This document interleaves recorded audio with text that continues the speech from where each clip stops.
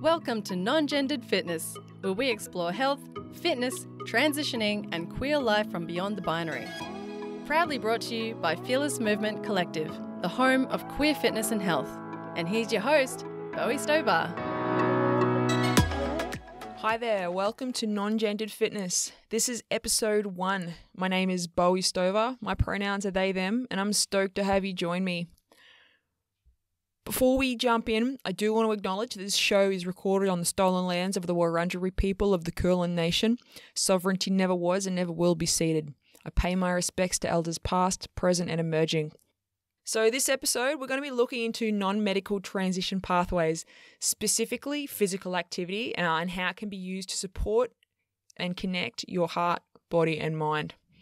So, by the end of the episode, I'm hoping that you will have gained an understanding of what it means to transition, learned a bit about what medical and non medical transitioning is, and how to use physical activity as a non medical transition pathway. The transitioning is the, the act of changing yourself physically, and that can be done through um, surgical options like top surgery or bottom surgery by taking hormones or it can be done socially by changing your name, changing your pronouns, the clothes that you wear, the way that you move your body. So many different ways, but it's simply in the space of the transgender diverse community. Transitioning is, uh, I would like to think, an evolution of going from the person that you may have had to live as to survive and stay safe to becoming the person that is your authentic self and then expressing that. So there are so many ways a person can transition and they are all valid. Before we go any further, I do want to acknowledge the amount of gatekeeping that can happen and lateral violence that occurs within the trans and gender diverse community when it comes to a person's transition. So, transitioning is such an individual experience, and no two transitions are the same, and there is absolutely no wrong way to do it. And you don't even have to transition if you don't want to. You can be trans or you can be gender diverse and you don't have to make any changes at all to yourself physically or socially to be valid as a transgender diverse person. I had to say that because it's something that I see occurring so often. I've been on the receiving end of attacks from people who have told me that my transition is invalid because I am choosing to transition non medically, using physical activity, using personal development to become my authentic self. And I've been told by people from the trans community that that doesn't make me valid because I'm not struggling with dysphoria, because I'm not wanting to start hormones, because I'm not wanting surgeries. That doesn't make me trans or it doesn't make me gender diverse. And I just want to say to everyone out there who has experienced that, don't listen to that shit. That is not true. You do you, however the plop you want to do you. And no one can tell you otherwise. We get enough uh, and we get enough attacks from outside of our own community, let alone having people from within it trying to say what you can and can't do to fit their view of what it means to be trans or gender diverse. And if someone tells you that you're doing it wrong, you tell them to fuck right off because you do it how you want to do it and they do it how they want to do it. And both ways are valid. But what we don't need is people coming in and judging someone else's lived experience and their own actions. Okay. Thank you for that. I just want to be really clear that this is something that's really quite toxic in our community and it needs to change because we need to support each other. We're not going to get anywhere by infighting and by judging each other. So, when we look at transition pathways, I did touch on medical transitioning and non medical transitioning, but I'm going to go a little bit further into that right now. So, medical transition pathways You've got a couple of options whether you're someone who was assigned female at birth, transitioning to male, or someone who was assigned male at birth and transitioning to female. Uh, your options are, hormones, and your options are surgeries if you're pursuing a medical avenue. And they involve making physiological changes to your body through the use of testosterone or estrogen with hormones, or through surgeries that will either remove a person's chest if they have experienced a female puberty, or augment their chest and add implants if they are someone who has experienced a male puberty. There's also bottom surgery and in various forms depending on the assumed sex at birth was of a person and also kind of how they want their uh, lower genitals to actually present to the world. Well, not the world. Oh my gosh. I guess if you want to present to the world, no judgment. That is all you, and you rock that how you want to. And there's nothing wrong with wanting to do that if that is the case. But the way that you want to have your body body just outwardly present. Uh, when it comes to non-medical transition pathways, there are a bunch more kind of avenues and they are often much more accessible than medical avenues. So the thing with medical transitioning is it requires lots of lots of doctor's visits, pathologizing of your identity, wait lists, so many wait lists. And I will not in any way say that there is anything wrong with medical transitioning. It is life saving. I truly, truly believe that medical transitioning saves lives of people within the trans and gender diverse community. And I will always fully support any person who is courageous enough to take those steps to do what they need to do to live authentically. However, at the same time, there is a lot of pathologizing of trans and gender diverse identities that is often associated with medical transition pathways. And I don't think that's our fault. That's the medical industry, that's the doctors, that's the general population who view us as, as people who have a problem or a disorder. We're not just, or it's not classified as that anymore, but it was right? So that view has shaped the whole approach that the medical industry has when it comes to people who live a trans and gender diverse experience. Now, non medical transition pathways are things like changing your name, changing the clothes you wear, changing the way you walk, changing the way you talk. You can change the way your body appears by chest binding, by packing, you know, adding something to the front of your jocks to make it look like you've got a bulge there, by tucking, where you kind of tuck things back so it looks like you don't have a bulge there. So many different options, and a lot of the time they can be much more accessible, a bit easier to start with, and just as affirming. Just as affirming as medical avenues, and definitely very often they are used in in support of medical avenues. So it's important to look at all the options available before we decide to transition. You see, we have a choice. We can choose how we want to be, how we want to be seen, how we want to present, and we can take steps to fulfill that. And from my own experience, physical activity was life changing for me. It was life saving for me. It was one of the most affirming things that I could ever have done. As I touched on in episode zero, I grew up in regional Queensland, Australia. For those of you who don't know much about Queensland as a state, it is hyper conservative, really redneck. if you're not cis, if you're not white, and if you're not male, shit gets a bit hard. And when I lived up there, I did not feel safe to express the questions that I had about my gender identity. So I lived openly as a lesbian for quite a long time. And even then, copped a real hard time for it. Quite a lot of confrontations, both verbal and physical, was an occurrence that I've had since I was about eight years old. So it was rough.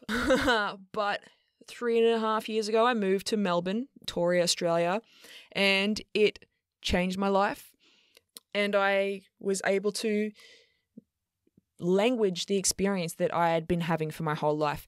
See, when I lived in Queensland, I didn't have anyone to talk to. I didn't have a support network. I didn't have either medical or just in a friend circle, people who I thought would be able to understand my experience. And it got me real down. And I had this idea in my head about who I wanted to be and it was someone who looked athletic, who looked fit. And I, at the time, I did not look like that. I had a really unhealthy relationship with alcohol, and it was just a, generally a hard time. Until I started playing roller derby, one of the most glorious sports you will ever participate in, and met an amazing human who was on my team who actually was a kettlebell coach and a personal trainer, and they asked me to come along and train with them, and it changed my life. They told me that they thought I'd make an amazing fitness coach. So the next day I went out and signed up for my certification. And that started my journey, not only uh, to becoming a personal trainer, but also in learning that I could express my internal identity by shaping my body. And it has been a challenge. It has not been a fast journey. Um, I think that real change does take time, regardless of what that is, and not just in a physical space, but just in in general in life. Real change takes time, and I've been training for over six years now to reach the point where I'm at, where I feel like how I present outwardly really aligns with who I am inside. Physical activity can be a great way to kind of start making change in your life pretty immediately. Whereas, uh, as I touched on earlier, when if it comes to pursuing medical avenues, it can take quite a lot of time. And I know down here in Melbourne that the affirming doctors that are around, they are packed. They are packed to the brim and they have wait lists for like 12 or 18 months in some cases just to get in and see a person, but to start looking at what avenues it's possible to pursue it can be really challenging and it can get people down because it's like, oh, well, I want to, I want to transition, I want to start shaping change in my life, but I've got to wait. And so it's kind of like things get put on hold for them. It's like, well, I can't feel fulfilled in myself until I've started my transition. And my transition has to wait 12 months. But it's like, no, friend, it does not have to because you could start moving your body however you are able to almost immediately and it will begin to shape change in your life. Physical activity does not shape change quickly, as I said, but let's look at it this way. If you are on a wait list because you want to medically transition, then what you could do, say you've got a 12 month wait list, you could spend the next 12 months moving your body connecting with your body, exploring how else you want to express yourself and how else you can express yourself, so that by the time your appointment comes up and you're able to go and speak to the specialist about what you want to do, whether you want to start hormones, whether you want to look into surgeries, your body is already in a space where it's moving towards where you want to be. It's forward movement. And it can be such a great experience because there's nothing worse than being stuck, feeling like someone else is controlling your options. And when you have the ability to control your own options, and physical activity supports all transition pathways. It doesn't matter if it's medical, it doesn't matter if it's non medical. It is one of the best ways that you can start to do something positive for you. See, if you're someone who will start hormones, let's say you start uh, testosterone, the thing is, testosterone does a lot of things to the body. It redistributes fat, and same with estrogen. Actually, like there's a lot of fat redistribution that goes on, a lot of change that happens in the body. Ligaments and tendons will thicken. If you're on T, if you're started taking estrogen, then you're going to lose a bit of muscle mass, which also runs the risk of lessening your bone density as well. But physical activity can help support these changes.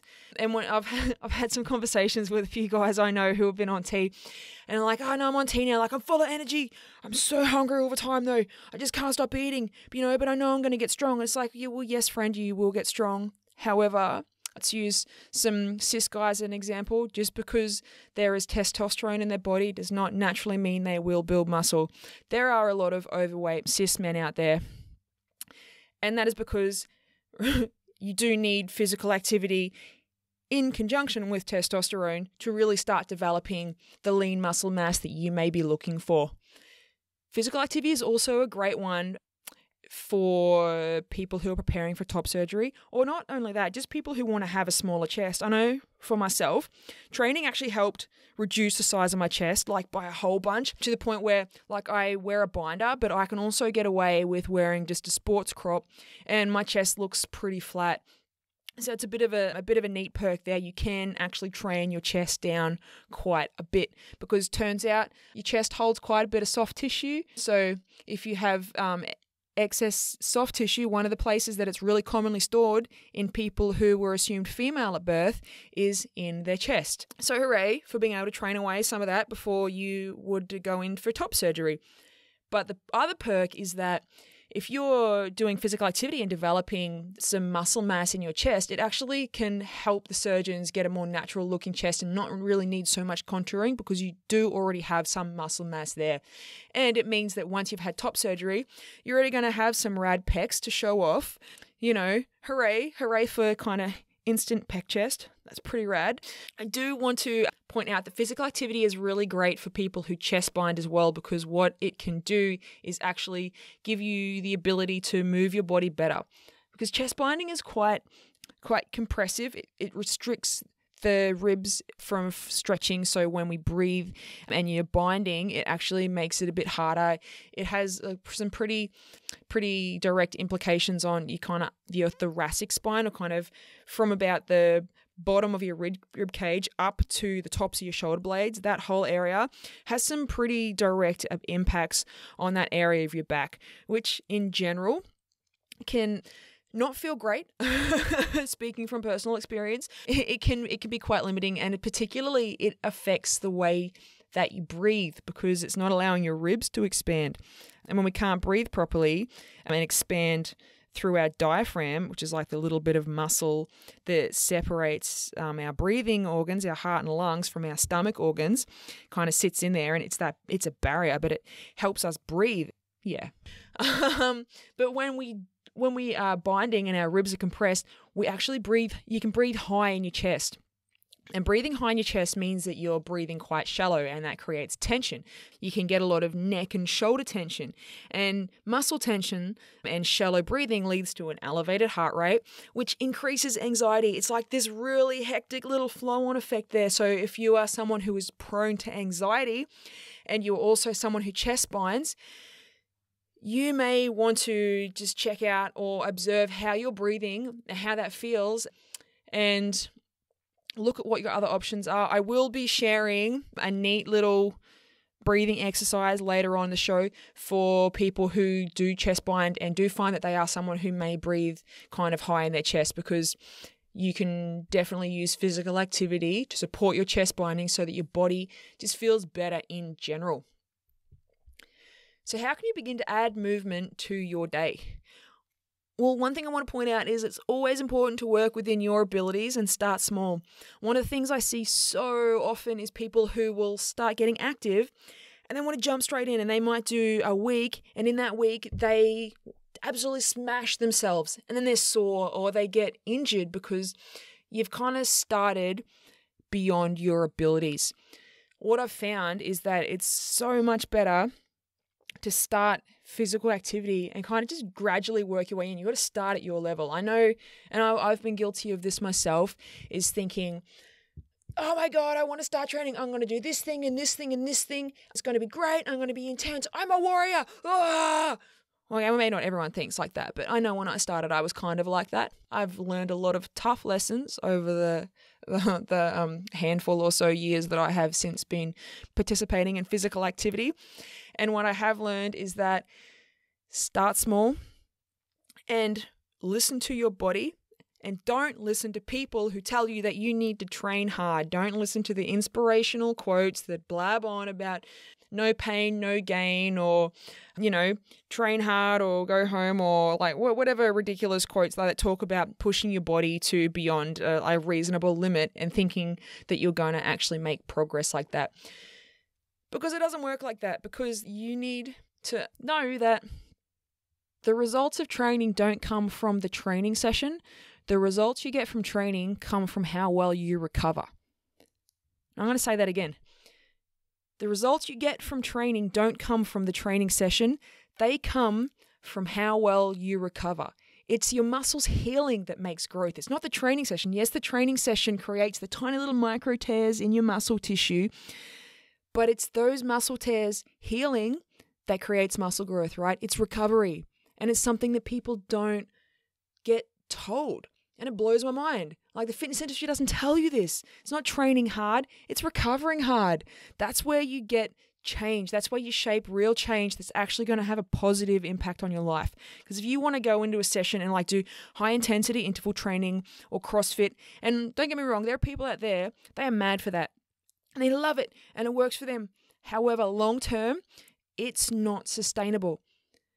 Over time, your body can't maintain continued high intensity activity. At some point, you're going to overtrain, you're going to get injured. You know, it might, yeah, you might be able to do it for a handful of years even, but long term, it's just not something that's sustainable and overall beneficial for your body. What you want to do is start where you're able to start at and start by getting movement into your body through mobility. So it's not about adding load or lifting weights straight away. Before you start that, you got to make sure you got a strong base. And a strong base starts with your body being able to move well, with you being able to breathe well. Because if you can't breathe, you can't put load like weights onto your body and expect it to hold up. That's how you get injured. And it's how I've seen so many people get taught to train and then they wonder why five, five or six months later they've busted their knee or they've busted their shoulder. It's because they had a limitation in their body to start with. Something didn't move right, so something else compensated, and over time, they strengthened an area that was then working in a way that it should not have. And all of a sudden, their whole body seems to just be one injury after the other. So, you want to start small and don't think that it's going to be perfect straight away. You're not going to get, you know, every session in every time, and that's okay. Moving when you can, how you can, is going to have more benefit than thinking, I'm going to train six times this week and then training three times, being really tired, really worn out, and then beating yourself up about the other three times that you didn't get a session in.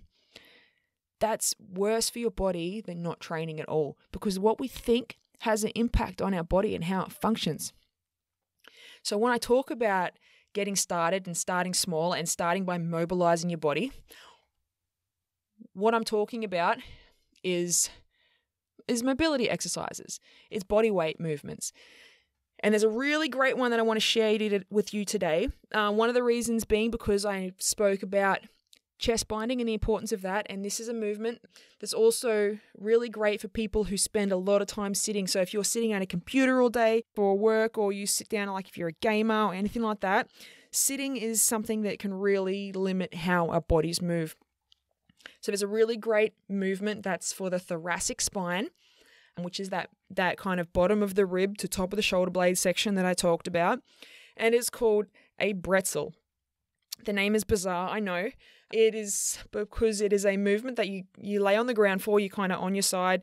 You've got your legs twisted one way, your upper body twisted the other way, and you kind of look a little bit like a pretzel. And I'm pretty sure it was invented by a guy named Brett. So, of course, the very original naming scheme that came from that was Bretzel. I had one client who always called it Brexit, which I found a bit funny because it's like, we're going to do pretzels now. And they're like, oh, Brexit. It's like, no, we're not leaving the European Union. We're just going to hop on the floor and stretch. so, so it is a Bretzel. I will link a video to the Bretzel in the show notes. And I would recommend jumping in, having a look at this video, and then just doing it maybe twice, twice this week or twice in the next seven days. Just it's a cool time to do it in the morning when you first get up. You can do it while you're already in bed because sometimes laying on a bed, well, not sometimes, laying on a bed is generally more comfortable than laying on the floor to do a thing. But if you are someone like myself who does like to just lay on the floor and do things on the floor, do it on the floor. Totally cool as well. And it's essentially a movement that is going to help open up not only your thoracic spine, but also across the front of your chest. And this is really important for people who chest bind because it's really common to kind of get a bit of a slouched, shoulders rounded, pulled forward kind of shape. And the Bretzel really helps to not only get movement through your back, but also get movement through your chest. It is a very cool move. I will be linking sh- linking to that in the show notes. You'll get a video. I'll be explaining when to do it, how to do it. Just try it. Trust me. Trust me. Do it a few times. Do it, uh, you know, twice in the next seven days. If you can, do it three times the week after that, and slowly, just a few times a week, add it to your morning and see how much change that makes. Now, if you are someone who does have back problems, I would recommend talking to your whoever your allied health professional is that may support you in that. Have a chat with them first to make sure it's safe because one thing I would not want is someone to try something if they've got a compromised spine in some way that could lead to further injury. We definitely don't want that if you are someone who is not able to move in certain ways, then an alternative that you can do is to start with deep breathing. I mentioned earlier that breathing without diaphragms is really important. It has a, real, a lot of really positive implications when it comes to reducing anxiety.